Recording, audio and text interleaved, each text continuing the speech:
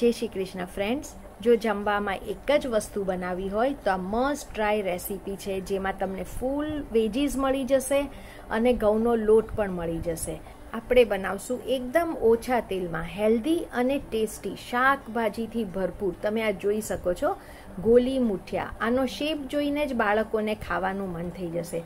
જો તમારા બાળકો શાકભાજી ન ખાતા હોય તો આ રીતે બનાવીને જરૂર આપજો. સો બનાવવાનું શરૂ કરીએ. એક બાઉલમાં રહીશું. ઘઉંનો કરગરો લોટ. કોઈ પણ ગ્રોસરી સ્ટોરમાંથી તમને આ ઇઝીલી મળી રહેશે. આ કરગરા લોટથી મુઠિયા બહુ જ સરસ થાય છે. લીસા અને ચીકણા નહીં થાય. સો અહીંયા આપણે લીધો છે દોઢ કપ કરગરો લોટ. હવે એની સામે લઈએ છીએ ચાર ટેબલ સ્પૂન ચણાનો લોટ. ફ્રેન્ડ્સ ચાર ટેબલ સ્પૂનથી વધારે નહીં લેતા. આપણે બાઇન્ડિંગ માટે લીધો છે ચાર ટેબલ સ્પૂન હવે આપણે લઈશું શાકભાજી. શાકભાજીમાં લઈએ છીએ પાલક પાલક લીધી છે, એક કપ અને બધા શાકભાજી એકદમ બારીક કાપવાના છે. હવે લઈશું છીણેલી કોબી. કોબીને છીણી કાઢવાની અથવા જો તમારી પાસે ચોપર હોય તો તમે બારીક ચોપ પણ કરી શકો છો. અને ફ્રેશ કોબી લેજો. બળવાળી નહીં લેતા. હવે લઈએ છીએ છીણેલું ગાજર. અહીંયા એક મોટું ગાજર લીધું છે અને કોબી આપણે લીધી છે એક કપ. સો આપણે વધારે વેજીટેબલ્સ લઈએ છીએ ને ઓછો લોટ લેવાના છીએ. તમે આ જુઓ કે કેટલું ભરપૂર વેજીટેબલ્સ દેખાય છે. હવે એડ કરશું સ્પાઇસીસ લઈએ છીએ હળદર, ધાણા જીરું, હિંગ, ગરમ મસાલો ગરમ મસાલો ફક્ત નાની અડધી ચમચી જ નાખજો. સાકર, મેં અહીંયા બ્રાઉન શુગર લીધી છે, તમે તમારી પાસે જે હોય એ લઈ શકો છો. તલ, આ તો બહુ જ ઇમ્પોર્ટન્ટ છે, આના ક્રંચ પણ સરસ આવશે અને ખાવા માટે પણ આ હેલ્ધી છે. આદુની પેસ્ટ લસણની પેસ્ટ અને જો તમે લસણ ન ખાતા હોય તો સ્કીપ કરજો, એના વગર પણ સરસ લાગે છે. લીલા મરચા તમારા ટેસ્ટ પ્રમાણે. લીલા મરચાની તીખાશ જ સારી લાગે છે.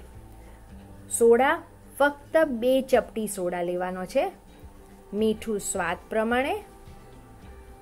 લીંબુનો રસ.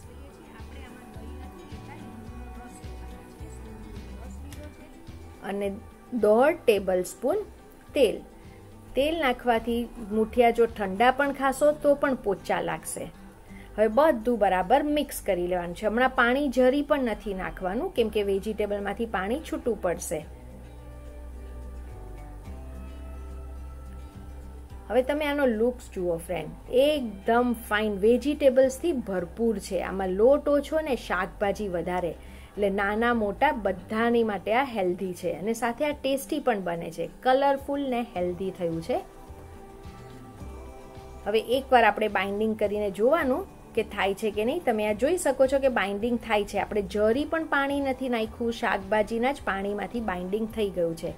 બહુ હાર્ડ પણ નહીં હોવું જોઈએ ને બહુ ઢીલું પણ નહીં. અહીંયા મને થોડુંક હાર્ડ લાગે છે, એટલે હું અહીંયા લઈ રહી છું. ફક્ત એક ટેબલ સ્પૂન પાણી. ફ્રેન્ડ્સ પાણી જોઈએ તો જ લેજો ને ન જોઈએ તો નહીં લેતા. આપણને અહીંયા બતાવ્યું છે એ પ્રમાણેનું બાઇન્ડિંગ જોઈએ. નહીં બહુ હાર્ડ અને નહીં બહુ સોફ્ટ હવે પાણી નાખીને હું બરાબર પાછું મિક્સ કરી લઈશ અને હવે તમે કન્સિસ્ટન્સી જુઓ. આ પ્રમાણેની કન્સિસ્ટન્સી જોઈએ છે. નથી બહુ હાર્ડ અને નથી બહુ ઢીલું. આ સ્પ્રેડેબલ કન્સિસ્ટન્સી છે. હવે આના આપણને બોલ્સ બનાવતા પણ ફાવશે. આ પ્રમાણે જોઈએ ફ્રેન્ડ્સ તો તમે એ પ્રમાણે જ થોડું થોડું પાણી લેજો. જોઈએ એ પ્રમાણે ને ન જોઈએ તો નહીં લેવાનું. એકવાર ચાખી લેવાનું. ને તમારા ટેસ્ટ પ્રમાણે કંઈ સ્પાઇસીસ એડ કરવા હોય તો કરી શકો છો. હવે આપણે તેલવાળો હાથ કરશું અને આના નાના નાના બોલ બનાવવાના છે. બોલ બહુ મોટા નહીં બનાવતા, આ પ્રમાણેની જ સાઇઝ કરજો. કેમ કે આપણે સ્ટીમ કરશું, એમાં એની સાઇઝ થોડી મોટી થાય જ છે. અને બરાબર આને આમ દબાવીને કરજો, નહીં તો તો છૂટા પડી જશે. સો અહીંયા એક બોલ તૈયાર છે. સેમ વે આપણે બીજા કરી કાઢવાના છે. પણ બરાબર દબાવજો એટલે બોલ્સ છૂટા ન પડે. એક રિક્વેસ્ટ છે ફ્રેન્ડ્સ જો તમે ચેનલ સબસ્ક્રાઈબ ન કરી હોય તો પ્લીઝ સબસ્ક્રાઈબ કરજો અને સબસ્ક્રાઈબ કર્યા પછી બાજુમાં જે બેલની સાઇન છે એના ઉપર ક્લિક કરજો. જેનાથી બધી રેસીપી તરત મળશે અને આ ફ્રી છે. સો તમે જુઓ છો કે આ બરાબર આપણે દબાવીને કર્યો છે. આ પ્રમાણે બધા બોલ તૈયાર રાખવાના છે. ને બોલ્સ બનાવતી વખતે જેમાં તમે આ મુઠિયા મૂકવાના હોય એ પહેલેથી સ્ટીમ કરવા વાસણ મૂકી દેવાનું. અને અહીંયા તમે જે પ્લેટમાં મુઠિયા ગોઠવવાના હોય એ પ્લેટને પણ આ રીતે તેલ ચોપડવાનું, એટલે મુઠિયા ચીટકી ન જાય. તો અહીંયા મેં તેલ ચોપડી લીધું છે પ્લેટ પર, અને હવે મુઠિયા બરાબર ગોઠવી દઈશું. અને બે મુઠિયા વચ્ચે થોડી જગા રાખજો ફ્રેન્ડ્સ મેં કીધું એ પ્રમાણે આ થોડા મોટા થઈ જશે. સો આ પ્રમાણે આપણે મુઠિયા ગોઠવી દીધા છે. હવે મુઠિયા ગોઠવી દીધા પછી હવે આપણે આને સ્ટીમરમાં મૂકી દઈશું પ્લેટને. સ્ટીમર પહેલેથી ગરમ કરી રાખવાનું. ફ્રેન્ડ્સ, આ એક ટીપ છે. જ્યારે પણ તમે સ્ટીમર ગરમ કરો, ત્યારે એમાં લીંબુના છોડા નાખજો તો સ્ટીમરમાં નીચે ડાઘા નહીં પડી જાય. સો આનાથી જરી પણ તમારા ડાઘા નહીં પડે સ્ટીમરમાં. હવે આપણે મુઠિયાની પ્લેટ અંદર મૂકશું. સ્ટીમર ગરમ હોવું બહુ જ જરૂરી છે. હવે આને કવર કરશું અને કવર કરીને અઢારથી વીસ મિનિટ હાઈ ફ્લેમ પર આને આપણે સ્ટીમ કરવાનું છે. અઢારથી વીસ મિનિટ હાઈ ફ્લેમ પર. અઢારથી વીસ મિનિટ થઈ જાય એટલે ગેસ બંધ કરશું. અને હવે સંભાળીને આપણે ખોલશું. હવે તમે જોઈ શકો છો કે મુઠિયાની સાઈઝ થોડી મોટી થઈ ગઈ છે. મુઠિયા ફૂલી ગયા છે સરસ. એક ચપ્પુ આ રીતે નાખીને જોવાનું, જો ચપ્પુ ડ્રાય આવે, એનો મતલબ મુઠિયા સરસ થઈ ગયા છે. અઢારથી વીસ મિનિટમાં ફ્રેન્ડ્સ થઈ જ જાય છે. હવે આપણે આને બહાર કાઢવાનું છે. સ્ટીમરમાંથી પ્લેટ બહાર કાઢીને હવે આને ફ્યુ સેકન્ડ્સ જરા થોડું ઠંડુ થવા દઈશું. તમે જોઈ શકો છો કે એકદમ સરસ ફૂલ્યા છે અને પોચા થયા છે. જુઓ તમે કે એકદમ સરસ પોચા છે. હવે આપણે એક તોડીને જોઈએ. વેજીટેબલ્સથી ભરપૂર છે. ગરમા ગરમ આ બાફેલા મુઠિયા પણ ખાવાની મજા આવે. તમે આ વઘાર્યા વગર પણ આ રીતે બાફેલા ગરમા ગરમ ખાઓ, બહુ જ ગમશે. પણ આજે આપણે આને વઘારવાના છીએ. એને માટે એક પેનમાં તેલ લઈશું. તેલ ગરમ થાય એટલે રાઈ. અને ફ્રેન્ડ્સ મેં બહુ જ ઓછું તેલ લીધું છે. તમે જોઈએ તો થોડું વધારે લેજો.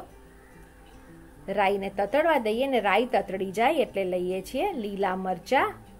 લીલા મરચાં પણ તમારા ટેસ્ટ પ્રમાણે લેજો. આમ વઘારમાં લીલા મરચાં બહુ જ સરસ લાગશે. લીમડો. ફ્રેન્ડ્સ, આ ડ્રાય તતડી જાય એટલે આ ટાઈમે તમે તલ પણ નાખજો.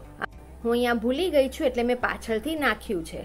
પણ તલ નાખવાનું આ ટાઈમે ભૂલતા નહીં. હવે રાઈને લીમડો થઈ જાય એટલે લઈએ છીએ બે ટેબલ સ્પૂન કોથમીર અને બે ટેબલ સ્પૂન કોપરું તાજું કોપરું અથવા તો ડેસિકેટેડ જે સ્ટોરમાં સૂકું કોપરું મળે છે, એ કોઈ પણ બેમાંથી એક લઈ શકો છો. ફ્રેન્ડ્સ, કોથમીર અને કોપરું આ સ્કીપ નહીં કરતા. આનાથી ફ્લેવર તો બહુ જ ફાઇન આવે છે વઘારમાં. ફ્રેન્ડ્સ, હું તલ ભૂલી ગઈ હતી એટલે અહીંયા થોડું તેલ લઈને હું તલને રોસ્ટ કરી રહી છું. એકદમ ફાઇન આ વઘાર બને છે. આમાં તો મુઠિયા એટલા સરસ લાગશે કે તમે ચટણીને કેચઅપ વગર ખાઈ લેશો. હવે તલ બરાબર રોસ્ટ થઈ ગયા છે એટલે હું બધું બરાબર મિક્સ કરી લઉં છું. હવે વઘાર મિક્સ કરી લીધા પછી હવે આમાં એડ કરીએ છીએ બાફેલા મુઠિયા. આ ગોલી મુઠિયા તો જોઈને જ ખાવાનું મન થાય. તમે આ બાઇટિંગમાં પણ વાપરી શકો છો. અને આ એટલા સરસ લાગે છે કેમ કે આમાં લોટ ઓછો છે અને શાકભાજી વધારે છે. બધું બરાબર મિક્સ કરી કાઢીએ. જમવામાં એક જ વસ્તુ બનાવવી હોય તો મસ્ટ ટ્રાય રેસીપી છે. આમાં તમને ઘઉંનો લોટ મળી રહે છે અને શાકભાજી પણ મળી રહે છે. ને બાળકો જો શાકભાજી ન ખાતા હોય તો એમની ચોઈસના શાકભાજી તમે આમાં આપી શકો છો. સો અહીંયા મુઠિયા રેડી ટુ સર્વ છે. બનાવતા જ તમે ખાશો એટલું ટેસ્ટી છે. જોતા જ ખાવાનું મન થઈ જાય એ ટાઈપના છે. ને વઘારેલા તો ખાવાની બહુ જ મજા આવશે. કેમ કે આમાં આપણે તલ, કોપરું અને કોથમીર સોટે કર્યા છે. તે કોપરું ને કોથમીરની ફ્લેવર બહુ જ ફાઇન આવે છે. રેગ્યુલર મુઠિયા કરતાં દેખાવમાં વધારે સારા લાગે. જોતા જ ખાવાનું મન થઈ જાય એ ટાઈપના અને આ બનાવતા ફ્રેન્ડ્સ જરી પણ વાર નથી લાગતી. હવે આપણે એક તોડીને જોઈએ.